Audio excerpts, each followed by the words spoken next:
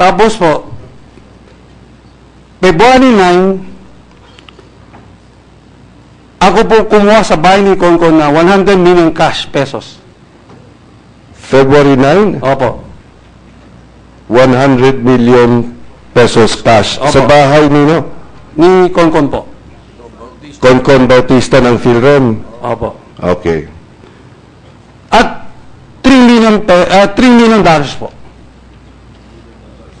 So 100 million pesos Tsaka and 3 million dollars Opo. all in cash. Opo. Okay. February 10 po, kumuha, kumuha po ako ng 2 million dollars po sa bahay niya.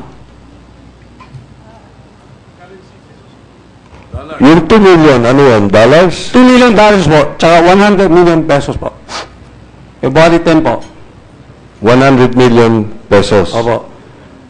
February 14 po, kumuha ko ulit ng isang 100 million po. So, total po, 400 million, ah, 100 million sa Soler, 300 million sa bahay niya, tsaka 5 million US dollars po. Cash. So 400 million cash. Hindi, yung 100 diniliver sa Soler. Ah, 100. 300 million kinuha ko po sa bahay niya. On three dates. On three dates. Anong date yun? 9, 10, 14. 9, 10, and 14. Opo. Okay. Tsaka 5 million dollars po cash. 5 billion. Tapos kailan yung, fi- anong breakdown ng 5 billion? Kailan mo kinuha yung, sabi mo may 3, may 2, ganun ba yan? Opo, isang February 9, 3 million. February 10, 2 million dollars po. Okay. Ito pong umpisa ko to, itong dollars po, kasi yung 300 million kinuha ko, na-deposit sa junket. Itong dollars po, gusto ko rin itong mga junket, si Gao at si Ding, medyo dun nag-away na ho kami. Kasi po, ang gentleman agreement, walang kukuning cash. So wala ho sa rules eh. So nung kinuha ho, kaya naging 4.63 million yung natira po sa isang junket po, yung nasabi ko, dahil nag-aaway na po kami. Kinuha niya 370,000. So nagagalit na po ako eh. Kasi wala akong usapan, kukunin cash. Kasi itong negosyo namin, usapan lang eh. Yung tiwala eh. Eh sabi ko, niloloko nyo ako. Sabi ko, talon nyo muna lahat ng pera, nasa sulit, tsaka nyo na lang kunin to. So kaya naiwan po yan, na 4.63 million dollars po. Okay. Opo. Naiwan saan? Sa isang junket po, sa sulit, naka-self-keeping po. Hanggang ngayon, nandyan pa. Nandiyan po, eh gusto nyo, sabi ko nga, kung gusto nga dalhin dito eh. Sabi, payo lang sa akin na abuda, masama po yun. Mr. Chair, ano lang, uh, just to, to Go ahead. inform the public, ano, marami nagtatanong eh, ano ba yung junket operator? Ano yung junket player? At ano yung junket na binabanggit mo? Ano yung, paki-explain ka nga mabuti. Opo. Ang junket operator po, katulad ko po, sa Cagayan Economic Zone po, ah, Eastern Hawaii Leisure Company ah, Resort with a, a casino license, ang junket operator po, ibig sabihin po, kailangan sa iwang dealer, sa iwang pair, lahat ng junket operator, ibig sabihin, kailangan foreigner. Hindi po pwede local na, na katu, lang local na tao po, hindi pwede po maglaro. Bawal po. Lahat po kailangan manifest. Opo. Opo. Katulad po dun sa Sule po, lahat po yan, kung sino po naglaro, lahat naka-manifest. So, kung sino-sino po. Money first. Money first. Show the color, ganun. Hindi, No, manifest no, no, passport. money po. first. Manifest, ano? Manifesto. Kailangan ipakita yung passport bago maglaro po. Sorry po, mali yung mga Tagalog ko. Pasensya na po. Sorry po. Okay, tuloy niyo po. Tuloy niyo po. Mr. Chair, may we ask him to spell the word manifest or money first? Ano? Manifest po. I, i- yung passport po, i, ipapakita po muna. Oh, so, ayan, Ah, spelling niya M-A-N-I-F-E-S-T. Ah, makamali pa. Attorney Toto. Uh, Your Honor, it is uh, M-A-N-I-F-E-S-T, E manifest. That's what I said. Thank you. Okay, manifest.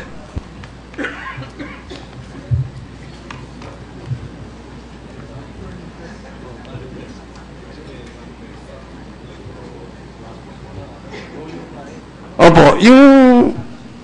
Ito po, anytime pwede nyo kunin.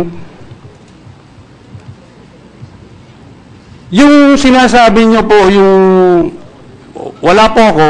At sabihin ko po pala muna, baga akala nyo po, nasasakitan-sakitan lang po ako. Ito po, isasabit ko po sa committee na matagal na hindi pa ako na-executive check-up. So, ito po, may appointment ako sa Singapore na 14, May 14, 15, 16, 17. Ito po yung katunayan ko po. Tapos pwede nyo din i-check, yung mag-ina ko po, nasa Hong Kong, matagal na po nakabo, pinundahan ko po. Para i-submit ko lang po sa iyo, baka, di ba, Okay. Okay, thank you, thank you. Tuloy, tuloy niyo yung kwento niyo. You were explaining yung junket. So, hindi pa na kompleto yung junket. Paki, Opo, yung para junket malaman ng po- tao. Ang junket operator po, light sule po, meron po sila mga 14 junket operator po. Like say, yung si Ding, eh, si Mr. Ding ho, dumating po, ang tawag po dyan, junket agent lang. O casual junket. Eh, sabihin, may dala siyang player, wala ho siyang pwesto. Hindi ho siya gumagaso, nagsusundo, lahat po. Hindi ho pareho sa amin na operator po sa Midas po, tsaka sa Cagayan Economic Zone po. So, magkaiba po. Tapos anong ginagawa ng junket para malaman ng mga tao? Ah, tiga Maglalaro sila. Hindi po, tiga kumbinsi lang player sa China kasi kailangan foreigner eh.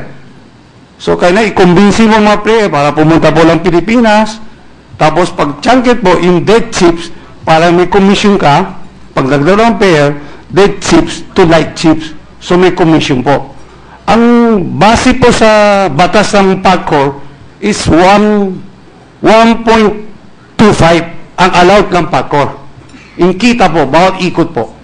For example, tumaya ka isang milyon, nanalo isang milyon, meron po 1.2 po. Right po. Okay. So, yun na ba yung kwento niyo po? Opo, opo. Kasi po, yung sinasabi po yung kay Sui Kang, ano? Wi, wi, wi Kang Su, iisang po player lang ho maliit yun. Kasi sinabi ko po, kay Philip, tatanggapan ko lang 100 million lang po yun eh. Pangkas lang po yun. Kaya lumabas yung malaking Sui Kang po. Si Ding po tsaka si Gao, sila po talagang malaking player po. At sila po talagang dalawa gumawa nito. Clarification. Opo, kasi Kasi, si Gao matagal ko na po sa kaibigan. So, ito si Ding, hindi po. February 4 lang, kunabit siya. So, ang pinagdiniwalaan ko si Gao. Eh, hindi ko alam na sinasabi factory, lahat na namin pera. Hindi ko po alam po. Okay. At this point, before we let the other senators ask questions, um, Ms. Salud Bautista and Mr. Concon Bautista, no? Mm, you represented that you were, you, Ms. Salud, you represented that you delivered the cash to a certain Kang Su. And you undertook to this committee to show us to show us the transactions, all receipt of transactions.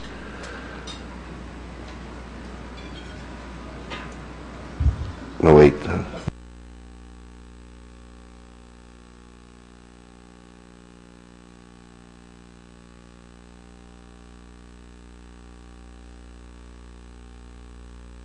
Ah, okay. You still have some submissions which are pending. Okay. You have not yet complied, so please comply. We'll send it to you. We'll send you the, the request. Yes, Your Honor. And make sure you comply it before the, the next hearing, huh? Yes, Your Honor.